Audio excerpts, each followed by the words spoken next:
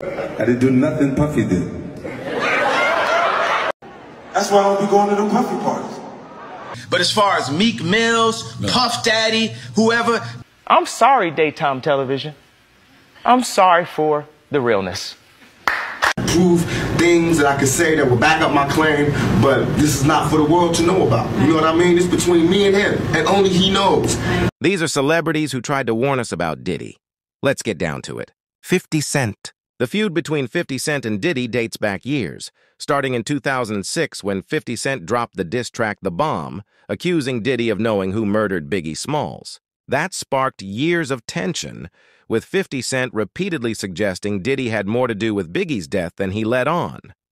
In 2010, 50 Cent took it further, launching a petition that criticized Diddy for profiting off Biggie's legacy while seemingly doing little to honor him.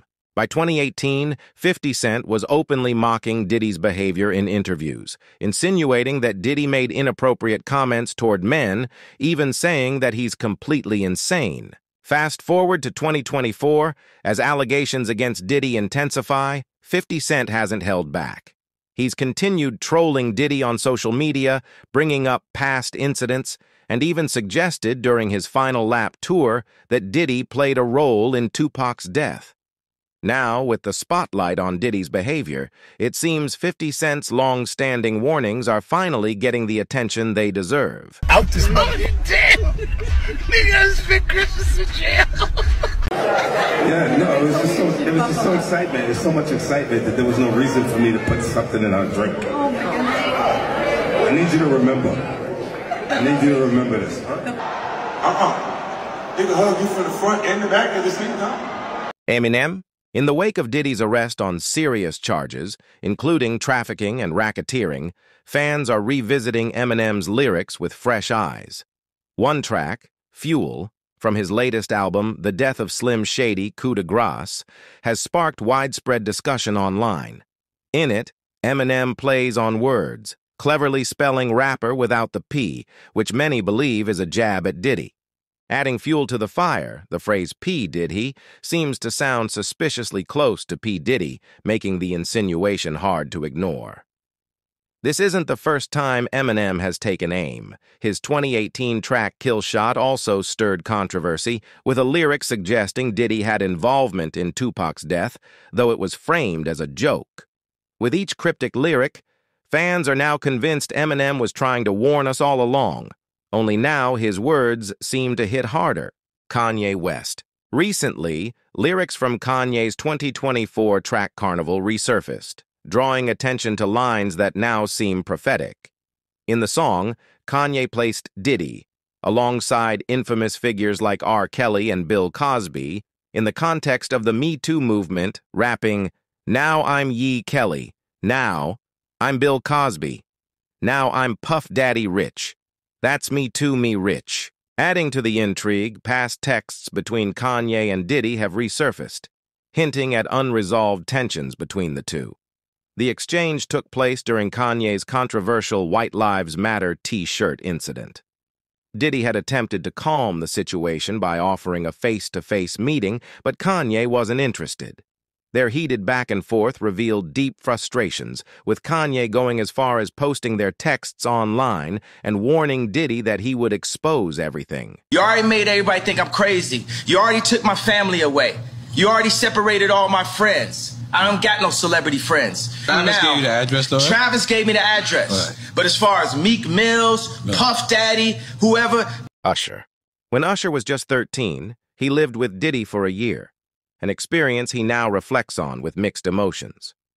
Usher, who was sent from Dallas to New York by his record label to learn the ropes of the music industry, found himself in the middle of Diddy's world, something far beyond his understanding at the time.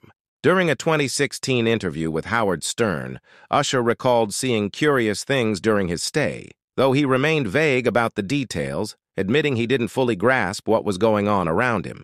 Howard probed further, asking if the house was filled with wild parties and questionable behavior, but Usher avoided specifics. He simply described the atmosphere as pretty wild and clarified that it wasn't something he would want for his own children. Now, a father of four, Usher was quick to dismiss the idea of sending his kids to anything like the Puffy Flava camp he attended, reflecting how little his parents knew about what he was exposed to. Tupac Shakur. Recently resurfaced footage has sent shockwaves through the hip-hop community, featuring Tupac Shakur expressing his belief that Sean Diddy Combs was involved in the notorious Quad Studios shooting in 1994. In the haunting clip from an April 1995 Vibe magazine interview, Tupac candidly shared his suspicions about Diddy being the mastermind behind the attack that left him shot five times. When asked directly if he thought Diddy had a hand in the shooting, Tupac replied, I believe so. I do believe so. Though he hesitated to reveal details, stating he had proof but felt it wasn't for public consumption. On the day of the shooting, Tupac had entered Quad Studios to work on a track for rapper Little Shawn. Despite his initial apprehensions, he felt reassured when he spotted a friend, Little Caesar, in the building. However, things took a dark turn as Tupac approached the elevator, where he encountered a group of men. The moment escalated quickly, leading to Tupac being gunned down, an event that left him with severe injuries.